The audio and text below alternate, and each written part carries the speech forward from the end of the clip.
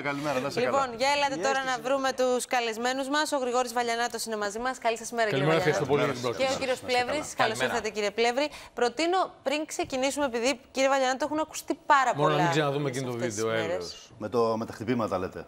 Δηλαδή αυτό το, αυτό το κλείσμα. Δηλαδή. Είναι φοβερό, πραγματικά είναι φοβερό. Δηλαδή νιώθεις κάθε φορά και χειρότερα βλέποντάς το. Αυτό είναι Και σοκαριστικό για για, μία όλους. ακόμη Είναι φορά, αλήθεια. κύριε Βαλιανάτο, καταφέραμε ως χώρα, δεν ξέρω αν πρέπει να μας εντυπωσιάζει βεβαίως ή όχι, να χωριστούμε στα δύο.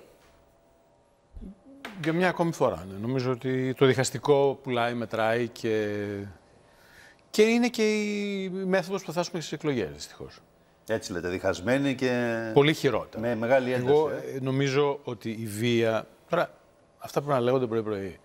Εκεί θα δούμε πόσο άδικο έχουμε όταν γελάμε, γελάμε, όταν γελάμε με τις κοινές βίας που εξελίσσονται σε άλλες χώρες. Ε, ε, τι, εννοείτε ότι έχει μεταφερθεί και στην Ελλάδα με παρόμοιο κλίμα. Εννοώ ότι είμαστε οι ίδιοι. είμαστε Καταγράφεται. ίδιοι, ε. Απλώς δεν, έχω, δεν είχαμε την ευκαιρία. Να τη ευκαιρία. Η Ε, αλλά ευκαιρία αυτό πρέπει- δίδεται. Αυτό όμως σε- έχει αίτια, κύριε Βαλιανά. Δεν είναι κάτι, ε, ένα σύμπτωμα. Σε μένα το λέτε. Έτσι δεν είναι; Εννοείται ότι έχει αίτια. Έχει αίτια στο γεγονός ότι ο δημόσιος λόγος πια είναι συνθηματικός. Δηλαδή ότι δεν συζητιούνται τα πραγματικά προβλήματα. Ότι, ότι δημιουργούνται συλλογικές ευθύνες. Οι συλλογικές ευθύνες δεν είναι μόνο να λες ότι ο Σκάι είναι βοθροκάναλο επειδή είστε όλοι. Η συλλογική ευθύνη είναι να διώχνουν τους τσάμιδες επειδή κάποιοι πρόδωσαν. Το πάω μακριά. Το πάτε πολύ Ναι, μακριά. εδώ όμως, Ναι, κύριε αλλά είναι Βαλιανάτο, ένα το θέμα. Να φύγουμε από το Γιατί θέμα. έχουμε Θυμό- συνηθίσει στο ένα και τσινάμε στο Εδώ άλλο. δεν είναι ένα όμως. Εδώ έχουν. ε, Έχει Όχι, λέω για ανοίξει τη συλλογική συζήτηση για ευθύνη. πολλά. Ακριβώς. Η συλλογική ευθύνη είναι μια το ερώτημα κακή είναι παράδοση. γιατί τα, τα ανοίγουμε όλα τα ζητήματα ε, όταν έχουμε ανθρώπους νεκρούς. Δηλαδή πρέπει να φτάσουμε στο σημείο να μιλάμε για έναν άνθρωπο 33 ετών που έχασε τη ζωή του για να ανοίξουμε όλα τα θέματα που θα έπρεπε να έχουν λυθεί εδώ και πολύ καιρό. Κοιτάξτε, άμα δεν λύνονται τα θέματα, μπουκάρουν μέσα. Να τα. Εδώ τώρα, κύριε Βαλιανάτο, υπάρχει, για να μπούμε λίγο στην ε, ουσία αυτής της ιστορίας, όλα βεβαίως είναι υπό διερεύνηση και οφείλουμε να είμαστε πολύ προσεκτικοί. Έχετε πει ότι υπάρχει οπτικό υλικό που να αποδεικνύει ότι ο Ζακ μπήκε στο συγκεκριμένο κοσματοπολείο για να προφυλαχθεί από κάποιον ή από Ακούστε. κάτι; Ευχαριστώ που μου δίνετε την ευκαιρία. Έχουν λεχθεί πολλά. Λέγονται για αυτά που λέμε. Α τα πούμε λοιπόν για να τελειώνουμε. Ο Ζάκη δεν είναι ένας αγαπημένος φίλος, έτσι.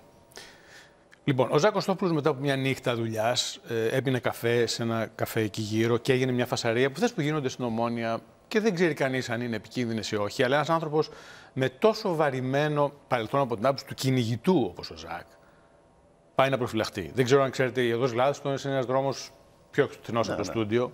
Ήταν το γραφείο του πατέρα μου, είμαι και από πέντε χρόνια. Γλάδιστον ως ένα. Λοιπόν, και μπήκε μέσα σε μια πόρτα. Δεν είμαι βέβαιος αν ήξερε σε ποια ήταν, για να προφυλαχτεί. Δηλαδή βρήκε μια πόρτα ανοιχτή και μπήκε. Θα μπορούσε να είναι κάτι άλλο. Οπωσδήποτε. Να προφυλαχθεί από τι; Από, το, από, τον καυγά. Από, από τον καυγά που γινόταν. Συμμετείχε στον καυγά, ο Όχι, ίδιος; όχι, όχι. Δεν, δεν αφορούσε αυτόν. Ναι, αλλά Λοιπόν, μπήκε με ένα μαχαίρι, σου λέει. Γιατί μπήκε με ένα μαχαίρι; Αυτά... Έτσι λέγεται. Ναι, εγώ δεν θα θέλω να το δω αυτό. Αλλά θέλω να σα πω κάτι άλλο.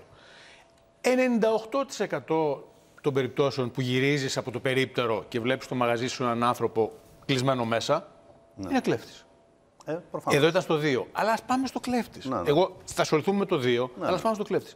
Τι τον κάνει, Δηλαδή, ένας άνθρωπος που είναι 40 κιλά, 1,60, σε μια κατάσταση που το βλέπεις, σε ένα θωρακισμένο τζάμι, κλεισμένο, σε ένα πολύ μικρό χώρο, που δεν έχει άλλον μέσα.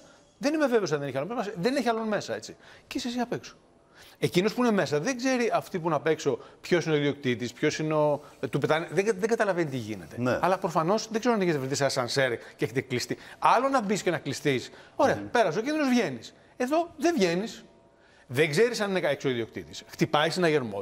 Τρελαίνεσαι. Ναι, αλλά και ο έξω ξέρει Ε, πως δεν θέλω να κάνω το επικίνδυνο εσύ detective. που είσαι μέσα. Όχι, βέβαια, Δεν το αλλά- ξέρει. ναι, αλλά αν κινδυνεύεις. κρατάς πιστόλι, αν έχεις οτιδήποτε, δεν το ξέρει. Όχι, Ο έξω. Το, το πιστόλι κάνει το. Αν έχεις μέσα αυτό. Και, και τι κάνει; Σ- Σπάει το τζάμι για να τον πιστολιάσει, για να σε πιστολιάσει; Λέμε τώρα ότι εκείνη την ώρα. Εγώ θα πάντως, ήθελα ρε να μην παιδιά, κάνουμε εμείς- αυτά τα σενάρια. Να σας Εγώ πω, θα κύριε ήθελα- Βαλιανάτε, το εξής. Ναι, ναι. Κρίνουμε όλοι τώρα καταστάσεις βλέποντα τα από την τηλεόραση. Εκείνη την ώρα η ψυχολογία όλων είναι τελείως διαφορετική. Δεν ξέρουμε πώς λειτουργεί ο καθένας. Εμείς κοιτάμε τώρα εδώ, είναι σαν το πέναλτι. Είναι, δεν είναι. Και το βλέπουμε από την τηλεόραση 10 φορές το replay. Σωστό. Όπως βλέπουμε το βίντεο 10 και 20 φορές και 50. Ναι, αλλά- Είναι άλλη λοιπόν η αντίληψη δική μας από τηλεοράσεω και από τον καναπέ μας και Σίγουρα, άλλη εκείνη τη στιγμή. Σίγουρα, σίγουρα. Αλλά Έτσι η, δεν ερώ- είναι; η ερώτησή μου είναι εξής. Έχεις έναν άνθρωπο μέσα στο τζάμι. Κινδυνεύει κάποιος από τους απ' έξω επειδή κρατάει μαχαίρι. Δεν, δεν Εδώ- ξέρω. αλλά εδώ, κύριε επειδή, Βαλιανάτε. ναι, το μαχαίρι είναι τι; Είναι, ε, Είναι στο, όπλος σε τον κάθε πόλεμο των περίπτωση, έτσι κι άστρων αλλιώς είναι που όπλο. λιώνει το Μισό τζάμι. λεπτάκι. Γιατί Εδώ κάποιος είπε νομίζω- ότι έκλεβε διαμάντια για να χαράξει με το δαχτυλίδι του τζάμι. Δηλαδή, Εντάξει, τώρα έχουμε τώρα ακούσει γίνεται και σενάρια επιστημονικής φαντασίας. από εκεί ιερολόγια. Εδώ Δεν θα ξέρω, μας βοηθήσει. ακούστε, Μισό έχει λεπτό, σημασία κύριε ποια είναι Βαλιανάτε. η δραστηριότητα του μαγαζιού, Βοηθήστε με αλλά- λίγο. Ναι, Ποια όλα προσμήματα, όλα Βοηθήστε με παιδιά. λιγάκι, γιατί εδώ Πάντα. κύριε Πλεύρη πρέπει να μας βοηθήσετε σε ό,τι αφορά το ερώτημα η άμυνα μέχρι πού μπορεί να Πα- φτάσει. πάμε λοιπόν στο νομικό πλαίσιο. Γιατί δηλαδή, εγώ όταν πιστεύω... η άμυνα ξεπερνά την επίθεση, Βεβαίως. για να το Κύριε πούμε μέσα σε Σονογλου, πολλά εγώ, εισαγωγικά, εγώ είναι θα, άλλο πράγμα. θα πω τι μας λέει ο ποινικός νομοθέτης στα άρθρα 22 επόμενα που είναι η άμυνα. Έστω λοιπόν ότι έχουμε μια παράνομη πράξη, γιατί και αυτό είναι ελεγκταίο. Δεν έχουμε δηλαδή μια αποδοχή ότι ο συγκεκριμένος άνθρωπος πήγε να κάνει ένα έγκλημα. Καταρχήν όμως Ναι. υπάρχει σίγουρα μια παράνομη πράξη, τουλάχιστον φθορά ιδιοκτησίας, δηλαδή παίρνοντας κάτι και χτυπώντας. Μάλιστα. Τι μας λέει ο νομοθέτης; Υπάρχουν δύο καταστάσεις που δικαιολογούν αυτόν που δέχεται επίθεση. Είναι η άμυνα όταν κινδυνεύει ζωή ή ζωή άλλου. Η άμυνα που είναι το απόλυτο ε, αγαθό προστασίας συνδυάζεται με κίνδυνο ζωής.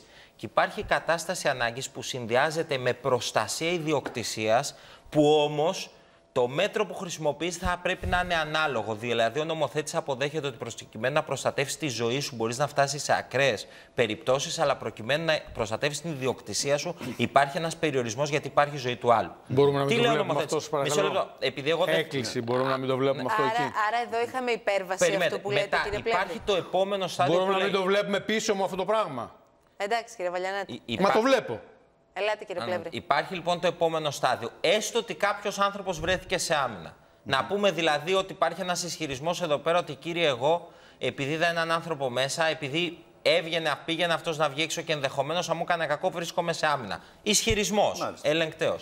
Τι μας λέει ο νομοθέτης, μπορεί να πάει στην υπέρβαση της άμυνας. Τι θα πει υπέρβαση άμυνας, ότι όταν πια αυτός ο άνθρωπος πάβει να είναι κίνδυνος, είτε γιατί τον βλέπουμε ότι είναι κάτω και είναι χτυπημένος και του παράσχονται και οι πρώτες βοήθειες, είτε γιατί πλέον είναι σε μια εμφανή κατάσταση που δεν μπορεί να κάνει κάτι. Μάλιστα. Και εσύ συνεχίζεις Αυτό την υπερβαίνει, άμυνα Πράγμα σου, που υπερβαίνει πλέον τον συνέβη. νόμο. υπερβαίνει την Μάλιστα. άμυνα και τι λέει τότε ο νομοθέτης, ότι τιμωρείσαι για το βασικό αδίκημα που έχεις κάνει με ποινή μειωμένη. Αποδέχεται δηλαδή ο νομοθέτης ότι βρίσκεσαι σε μια σύγχυση και δεν θα έχεις Σε αυτή ολόκληρη την την ποινή. περίπτωση είμαστε εδώ. Εδώ λοιπόν πιθανόν. Γιατί υπάρχει Λέ- ο και ακούστε, ξυλοδαρμός. γιατί- επειδή υπάρχει, επειδή υπάρχει. Εγώ μιλάω επειδή μιλάω νομικά, μιλάω με μια λεπτότητα, έχω άποψη. βεβαίως. αλλά σας λέω ότι ο ισχυρισμός του.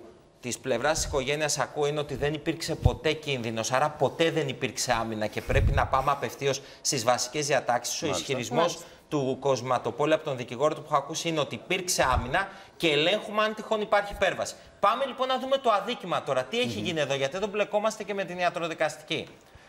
Ακούμε, υπάρχει. Περίπτωση πρώτη, επικίνδυνη σωματική βλάβη. Αυτό είναι πλημέλημα. Τι σημαίνει ότι τον χτυπάω, είναι σίγουρα επικίνδυνη σωματική βλάβη. Γιατί όταν χτυπάς σε σημείο όπως το κεφάλι, έχει κρυθεί νομολογιακά είναι ότι επικίνδυνη.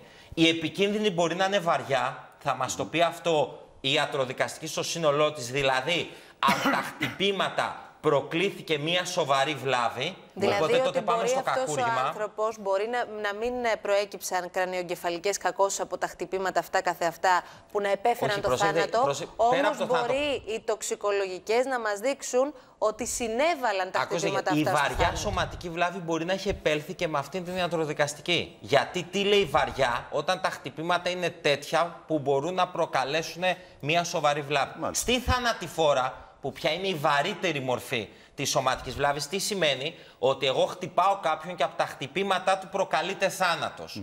Αυτό, δεν προκύπτει μέχρι στιγμής. Αυτό, τι τουλάχιστον γίνεται; λένε. Έχουμε, ξε- κοιτάξτε, γιατί προφανώς δεν έχουμε πρόσβαση στην δικογραφία. Τώρα, κύριε Βαρνά. Ακούμε, Από αυτό που είπαν, λέω, ακούμε οι ότι δικαστές. υπάρχει μια ιατροδικαστική που τι μας λέει η ιατροδικαστική, γιατί και εκεί πρέπει να είμαστε προσεκτικοί. Ότι σε μια πρώτη φάση τα χτυπήματα αυτά δεν προκάλεσαν θάνατο. Μάλιστα. Ενδεχομένως σε συνδυασμό με άλλα ευρήματα να προκύψει ότι ναι, μεν η κλωτσιά από μόνη της δεν προκάλεσε το θάνατο, αλλά ενδεχομένως σε συνδυασμό με άλλα ευρήματα να έχει συμβάλει. Μάλιστα. Και καταλαβαίνετε τώρα τη δύσκολη θέση Να ενός δώσουμε το ανακριτή λόγο. Αυτό- σήμερα. αυτό να τελειώσω. ολοκληρώσω. Ενός ανακριτή σήμερα που πρέπει να αποφασίσει τι αδίκημα, γιατί είναι η τελευταία μέρα, δεν μπορεί να δώσει άλλη μέρα. Σήμερα ή αυτός ο άνθρωπος του αποδίδεται κατηγορία και προφυλακίζεται ή δεν προφυλακίζεται, αλλά σήμερα πρέπει να έχει κατηγορία αυτός ο Μάλιστα, άνθρωπος. μάλιστα. Άρα, ένας ανακριτής βρίσκεται σε αυτή τη δύσκολη θέση. Και αν θέλετε ε, και να ολοκληρώσω, πάντοτε ο νομοθέτης σκέφτεται ότι κάποιος που θα βρεθεί σε μια δύσκολη θέση, γιατί προφανώς και ένας άνθρωπος που πάει να, στη δουλειά του δεν πήγε για να σκοτώσει κανένα, να το ξεκαθαρίσουμε. Έχει ένα πλεονέκτημα στην κρίση του ότι βρίσκεται σε μια δύσκολη θέση και μπορεί να αντιδράσει. Μάλιστα. Μία Όμω, κουβέντα από τον κύριο Βαλιανάτη. εάν τυχόν αυτές οι αντιδράσεις φτάσουν σε Ελάτε ένα μια σημείο απάντηση να υπέρβαση. κλείσουμε, κύριε Βαλιανάτη. Η κουβέντα η δική μου θα είναι σοβαρή.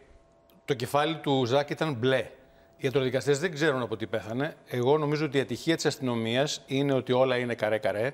Εγώ νομίζω ότι η αστυνομία θα Αποτυπωμένα πρέπει λέτε να στις κάμερες, ε. κατηγορηθεί για τη συμπεριφορά της και γι' αυτό είναι και ο φόβος της. αστυνομία γιατί γιατί το αν η λέτε; αστυνομία έχει συμβάλει στο θάνατο αυτών. Προσέξτε. Λέτε ότι ένας ασκήθηκε άνθρωπος που βία. έρχεται. Που, αν αν ένας άνθρωπος Ναι. ειδοποιηθεί ότι έρχεται, έχει ένας άνθρωπος αμόκ. Φωνάζει στο ΕΚΑΒ και την αστυνομία. Αν δεν μπορεί να του κάνει μια ένεση για να τον καταστήλει και να τον, να τον περιποιηθεί, είναι ξεφτύλα. Εγώ νομίζω ότι οι, οι ευθύνες της αστυνομίας είναι πολύ μεγάλες. Γι' αυτό και αυτό που έρχεται θα είναι μεγάλο Πάντως και η διεθνές. αστυνομία έρχεται στο τέλος. Και Με διεθνές. Διεθνές λέτε. Κύριε Κύριο, μια, Θα το μια κουβέντα εξασφαλίσω. που θέλω να Κάνετε πω. εσείς, ναι. Για να μην πάμε και στο άλλο άκρο, αν θέλετε. Άκουσα ότι ο συνάδελφος δικηγόρος που χειρίζεται την υπόθεση και κατά την άποψή μου τη χειρίζεται και πολύ προσεκτικά. Ε, Κάτω από το γραφείο ότι υπήρξαν συνθήματα. Να ξεκαθαρίσουμε. Ο δικηγόρος δεν είναι προέκταση κανενός. Ο καθένας έχει δικαίωμα υπεράσπισης βέβαια. και κανένας δεν μπορεί να κατηγορεί τον δικηγόρο για ποιον Σωστό, υπερασπίζεται. σωστό, Λοιπόν, σωστό. κύριε, σας Καλημέρα ευχαριστούμε σας, κύριε, πάρα να είστε πολύ. καλά. Ευχαριστούμε Καλημερίζουμε. πολύ. Διαφημίσεις σε λίγο